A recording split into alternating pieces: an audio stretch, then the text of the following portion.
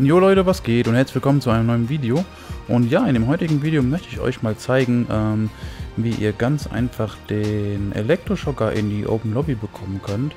Ähm, ja, dafür braucht ihr einfach nur einen Job, den müsst ihr euch markieren. Den Link zum Job werde ich euch in die Videobeschreibung ähm, verlinken. Ja, wenn ihr euch den markiert habt, dann geht ihr einfach auf Jobs, auf Job spielen, auf markiert. Und dann geht ihr auf Deathmatches und dann sucht ihr euch den Job ähm, Stunners raus.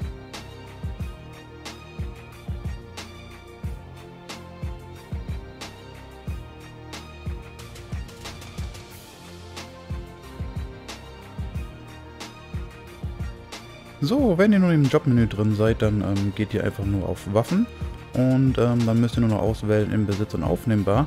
Und ja, jetzt ladet ihr entweder einen Freund ein oder irgendeine random Person. Das ist ganz egal, ich werde in diesem Fall einfach einen Freund einladen. So, ist der Freund denn nun bei euch drin, dann äh, könnt ihr den Job ganz einfach dann starten.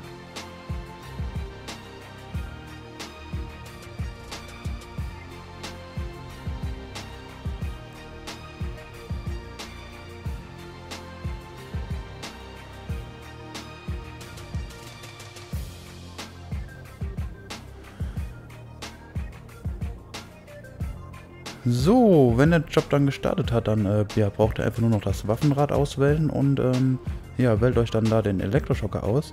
Und ja, jetzt müsst ihr nur noch ähm, um die 10 Sekunden ungefähr ähm, durch den Job laufen.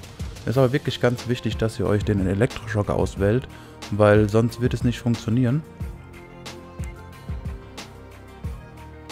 So, das wird wohl reichen von der Zeit. Dann, äh, ja, wie gesagt, wählt es euch einfach aus. Dann geht ihr einfach dann aufs Handy und tut den Job übers Handy einfach verlassen.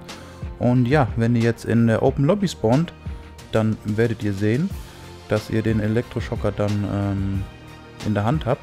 Soll das nicht der Fall sein, dann müsst ihr einfach nur aufs Waffenrad gehen und ähm, euch den Elektroschocker dann so auswählen.